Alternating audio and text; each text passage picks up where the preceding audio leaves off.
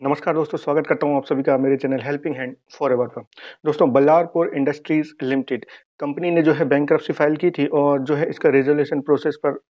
Process चल रही थी तो अब यहाँ पर एनसीएलटी ने इसका जो है रेजोल्यूशन प्लान वो अप्रूव कर दिया गया है। इसके लिए रिकॉर्ड डेट भी जो है फिक्स कर दी गई है और किसने यहाँ पर ये रेजोल्यूशन प्लान या फिर कहें कि अब कौन कंपनी को जो है टेक ओवर कर रहा है, उसके बारे में यहाँ पर सारी जानकारी दे देने जा रहा हूँ और हम डिस्कस करेंगे कि जो नई शेयर होल्डर पैटर्न क्या रहेगा इस कंपनी के लिए। तो पहले बता दूँ कि जो इनका रेजोल्यूशन प्लान चल रहा था और किसका रेजोल्यूशन प्लान जो है एन ने अप्रूव किया तो कंपनी है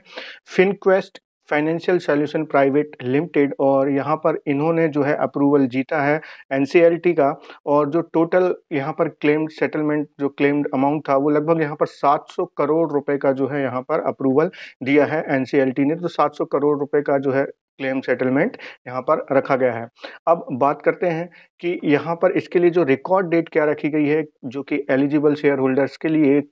क्योंकि अब जो है नए शेयर नए रेजोल्यूशन प्लान के अंतर्गत जो शेयर होल्डिंग पैटर्न है, वो या तो राइट ऑफ़ होगा या फिर डाइल्यूट होगा, यानी कि राइट डाउन होगा। तो यहाँ पर देखिए, आगे हम बात करेंगे कि किस तरह से किया गया है। पहले आपको बता दूँ कि इसके लिए जो रिकॉर्ड डेट क्या रखी गई है तो रिकॉर्ड डेट रखी गई है 23 जून 2023 की। तो इसका मतलब आज 22 जून तक जो भी शेयर खरीद लेंगे या आज जिन जो खरीदते हैं और फिर रिकॉर्ड डेट तक होल्ड करते हैं या अभी पहले भी खरीदे हुए हैं और रिकॉर्ड डेट तक होल्ड करेंगे तो वो शेयर होल्डर वो जो शेयर होल्डर हैं, वो एलिजिबल रहेंगे इस नए प्लान के अंतर्गत जो कि नया शेयर होल्डिंग पैटर्न बनेगा। तो यहाँ पर पहले आपको बता दूँ कि जो कंपनी ने शेयर होल्डिंग पैटर्न रखा है, उसमें पहले बताया है कि जो प्रमोटर्स की होल्डिंग है, यानी कि जो इनके पहले प्रमोटर थे, वो ज़ीरो राइट ऑफ़ कर दिया जाएगा तो उनकी होल्डिंग पूरी तरह से ज़ीरो कर दी जाएगी। उसके बाद रेजुलेशन एप्लीकेंट यानी कि जो यहाँ पर Finquest financial solution private limited है, जिन्होंने की बिड जीती है इस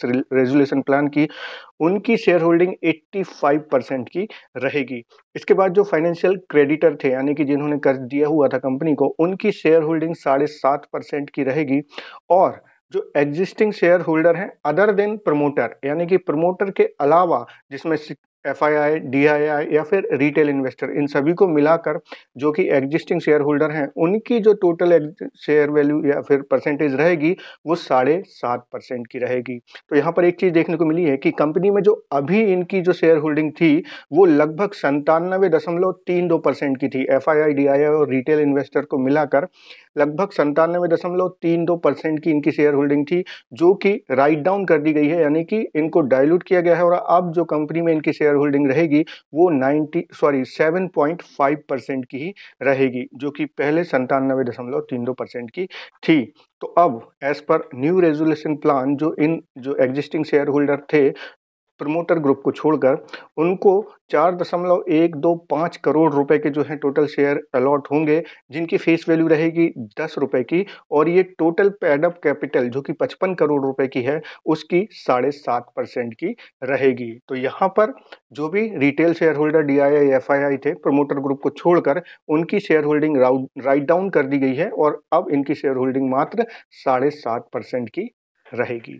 तो ये था अपडेट बल्लारपुर इंडस्ट्रीज़ लिमिटेड का जो रेजोल्यूशन प्लान है उसके रिगार्डिंग। आशा करता हूँ जानकारी आपको पसंद आई होगी। प्लीज़ लाइक कीजिए वीडियो को, सब्सक्राइब कीजिए मेरे चैनल को। Thank you.